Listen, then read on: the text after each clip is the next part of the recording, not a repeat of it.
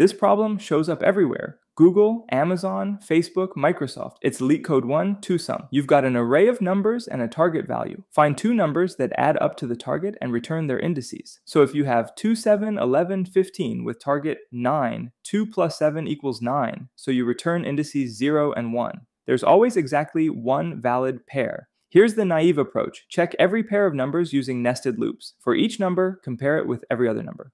That's O of n squared. Too slow for large arrays, but we can do better. Instead of checking every pair, we ask a smarter question. For each number x, what do we need to find? We need target minus x. If I'm looking at the number 2 and the target is 9, I need to find 7 somewhere in the array.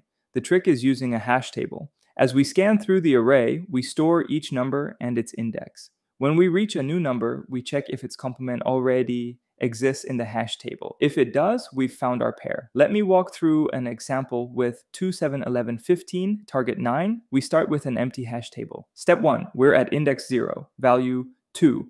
The complement is 9 minus 2, which is 7. Is 7 in our hash table? No, it's empty. So we store 2 at index 0. Hash table now has 2 mapped to 0. Step 2, we're at index 1, value 7. The complement is 9 minus 7, which is 2. Is 2 in our hash table? Yes, it's at index 0. We found our pair, return 0, 1. Done in two steps. We never even looked at 11 or 15. Let me show one more example where the answer isn't immediate. 3, 2, 4, target 6. Step 1, index 0, value 3.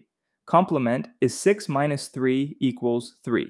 Is 3 in the hash table? No. Store 3 at index 0. Step 2, index 1, value 2. Complement is 6 minus 2 equals 4. Is 4 in the hash table? No. Store 2 at index 1. Step 3, index 2, value 4. Complement is 6 minus 4 equals 2. Is 2 in the hash table? Yes. At index 1. Return 1, 2.